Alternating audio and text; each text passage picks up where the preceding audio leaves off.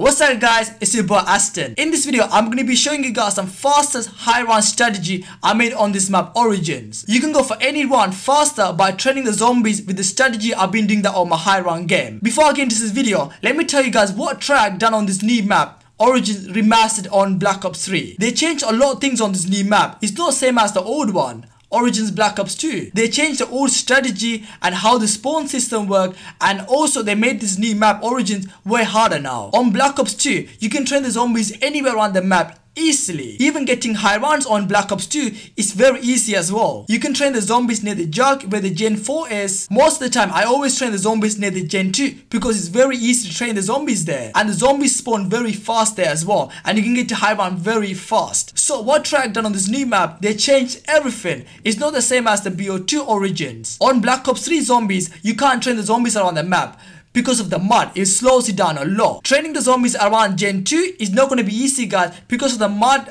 on black ops 3 it makes you go so slow. So when you're training you can get killed easily. Bo3 zombies they will slap you very fast. And also they run really fast as well. Imagine training the zombies in the mud. You can get down easily guys. This is the biggest problem on bo3 you can't keep the full wave of zombies guys more than 45 seconds. What's gonna happen? They will bleed out and they will respawn in front of you and get you trapped then game over. On Black Ops 2, you can keep the full wave of zombies behind you, even over 45 seconds. They won't bleed out. They will be there behind you.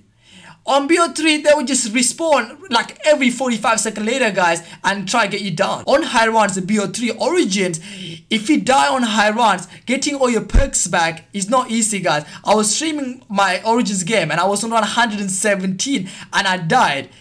Getting all the perks back guys is not easy because when you run around the map guys zombies will respawn every quick and they will try to get you down boys. So getting all your perks back on high runs it's not easy on BO3, but on BO2 boys, it's very easy guys because you can keep the full wave of zombies behind you and get all your perks back, but you can't do that on BO3 because they will respawn every 45 seconds. So playing Origins on BO3, you have to play very safe guys and try not to get down on high runs. That's why Treyarch made this game so much harder because we can use those mega gums like self-medication, near-death experience, perkaholic. It can make the game so much easier. So if you can use those mega gum, what's the point making the game easier? That's why they made it harder now guys because how the spawn system work and this how the strategy work. Only good place you can train the zombies on this map and you can get to high ground very safely is training the zombies inside the crazy place. But you have to do all the easter step if you want to unlock the crazy place. Then you can train the zombies inside the crazy place. The good thing about training the zombies inside the crazy place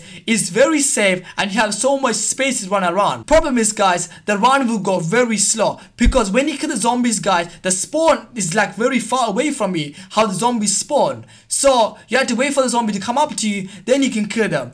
That'll make the round go very slow. Another place you can train the zombies is near the Gen 4 where the jug is. But training their guys, you can get trapped easily because zombies spawn everywhere and you can't control the spawn and they get you trapped easily. So training the zombies near the jug is not safe and you can get down easily boys. The strategy I made on this map is very fast guys, the round will go very fast and also it's a little bit easy to train the zombies there. The strategy I'm talking about guys is near the gen 3 where the speed cola is. If you want to train the zombies around here, gen 3 where the speed cola is, make sure you keep this door closed. What's gonna happen guys, when you keep that door closed, it's gonna change the spawn. So most of the zombies will spawn right side and the left side and also some of the zombies gonna come from the window.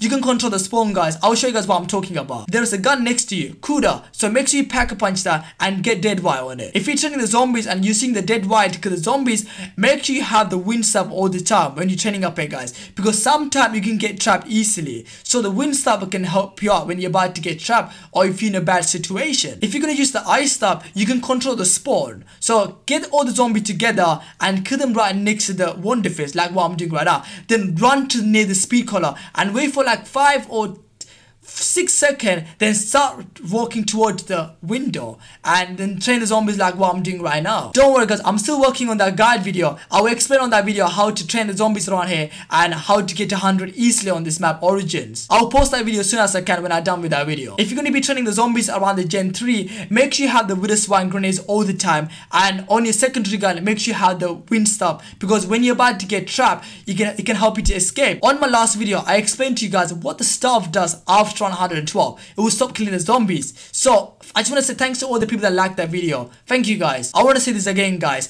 They really need to fix the staff because going for high round boys you need the staff because it helps you on high rounds. On Origin staff is the only thing that can help you when you're in a bad situation. For example when you're training the zombies around the gen 3 and you got trapped and the virus one explode what's gonna happen guys? The virus one is gonna freeze the zombies and you need to try to escape. So the only gun that you can use to escape is gonna be the staff.